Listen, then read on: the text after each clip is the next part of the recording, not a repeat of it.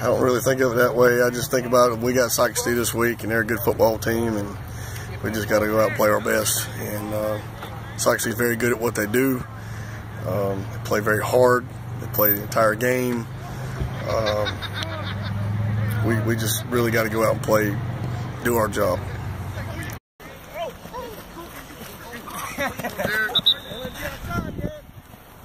Fullback is, is by far their best player, in my opinion. Um, I think that was evident when they didn't have him against Conway and they lost. Um, when they played Conway the first time, they they uh, pretty much handled the game when the fullback was there. So he's a pretty special player for them, and the quarterback uh, reads option really well, and uh, you know he, he, pulls the ball and makes some plays happen that, that might not always be there.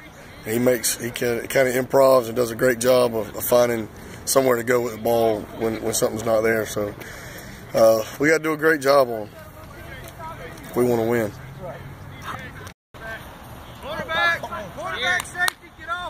Make any type of run in the playoffs, we got to play good defense, and uh, you know we, we, we've we got a challenge this week, and, and, you know we haven't seen an offense like theirs all season, uh, or last season, for that matter. So a lot of these kids are brand new to this, and seen, you know, just haven't seen triple option football in, in a long, long time.